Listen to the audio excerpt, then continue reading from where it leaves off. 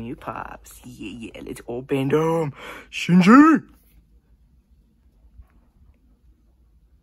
Yeah, oh yeah. Okay, so. Hmm. Okay, so.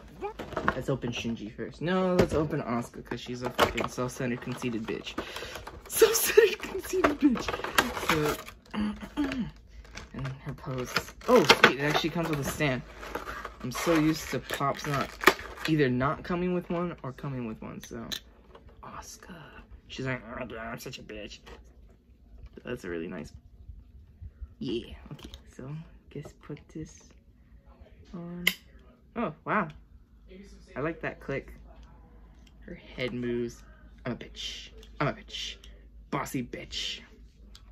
I like how she always sucks up to, uh, um, I forgot the character's name, but the one that stays with Shinji, and she, her ex-boyfriend slash lover, who's like an older dude, Asuka, like, just totally sims for that dude.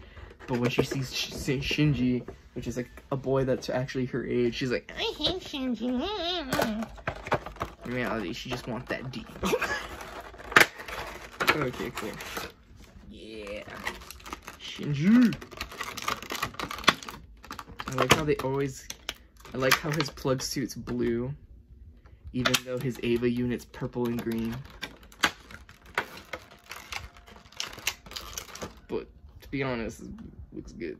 He's like, I'm Mega Man or something. He's like, that actually is a pretty cool plug-in suit for, like, having to pilot a robot. Boo! Okay, so weird.